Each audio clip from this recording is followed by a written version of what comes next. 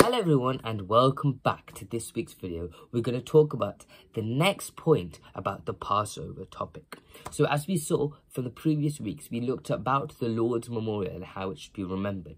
Then we moved on to the the first covenant from last week's video, which was the Passover. And we saw about how in Exodus 12th chapter, it was told by God how to celebrate the Passover. And we saw how the reasons each of the commandments God had given to the Israelites had to be followed like a statement. And each individual commandment is, if only followed, they were going to be saved from the death angel. As, and we, as we saw, because the, God's commandment that was followed by the Israelites, the death angel had passed over the doors of um, the Israelites' houses, giving the name Passover, of course, for the blood was on their doorsteps, as we know. After this incident, we see that the Pharaoh's child had died from the 10th plague, and in this depressed state, we understand that the Pharaoh had let them go from Egypt. So, in their travels after Egypt, we see, according to the divine arrangement, Israelites followed God's commandment and observed this Passover celebration accordingly. So we're going to read another incident when the Passover takes place in Deuteronomy 16th chapter. We're going to see another instance when the Passover takes place, okay, in the promised land we see. So let's read that right now. Deuteronomy 16th chapter. We're going to read the first eight verses. So let's read them right now. So it says, Observe the month of Aviv and celebrate the Passover of the Lord your God, because in the month of Aviv he brought you out of Egypt by night. So what is the month of Aviv here? Will answer that question soon.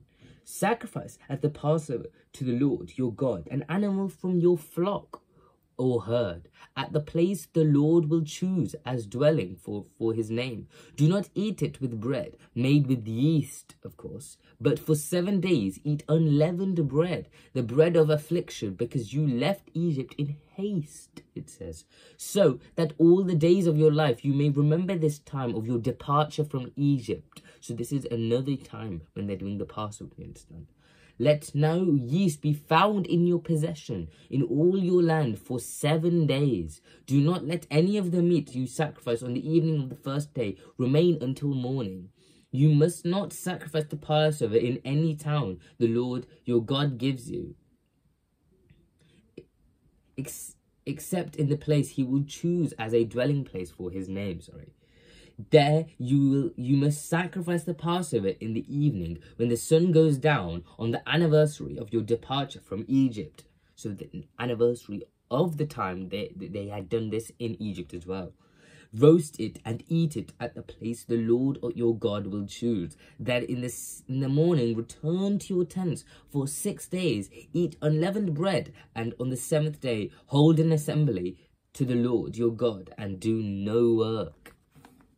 So the Passover here was celebrated in the wilderness, we understand, in Deuteronomy, clearly, as we confirm that this month, the first month, like we said, is actually Nisan, was the first month, we understand, for Israelites, where God, that we understand, had changed their practice, which they had earlier and had Aviv and Nisan are the same thing we need to understand, because in Nisan is a modern name of Aviv, which was changed, we understand, after the capture of the Babylon, after Israelites had were captured by Babylon, use it was used to call as be called as Aviv the first month.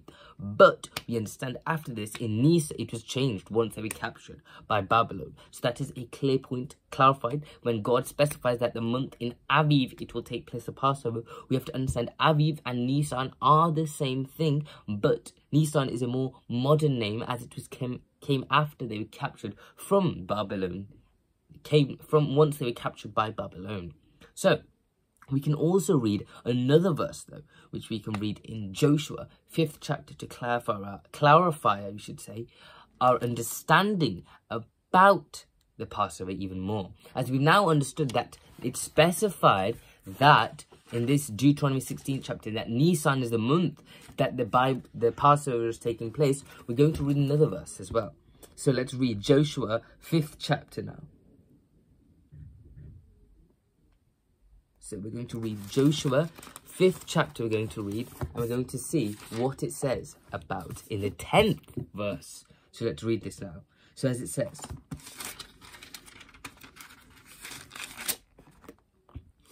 on the evening of the 14th day of the month, so on the 14th day of Nisan as it specifies, while camped at Gilgal on the plains of Jericho, the Israelites celebrated the Passover. So, not only in the wilderness and even in the promised land, we understand, they, they followed the festival of the Passover, including once they entered the promised land. The festival carried on as an anniversary from what they started at the when it's captured in Egypt. So we understand that they followed the festival as mentioned in the above verse, which is recorded in Joshua. Was the this Joshua? We understand that the first Passover is the in the promised land takes place in Deuteronomy 16th chapter. After they crossed the Jordan River, they celebrated in Gilgal. We understand, as mentioned in the verse, because yeah.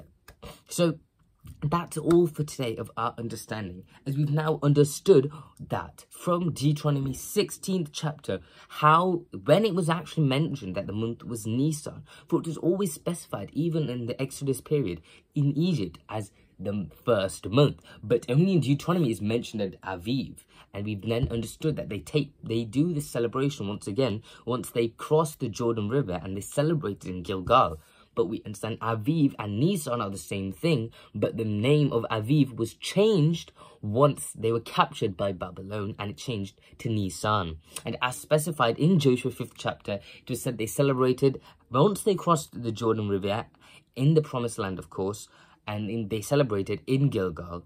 We also saw about how once once they were cele once we understood that actually the Israelites in this situation, we understood that it was also specified that it was the 14th day of Nisan in Joshua 5th chapter as well.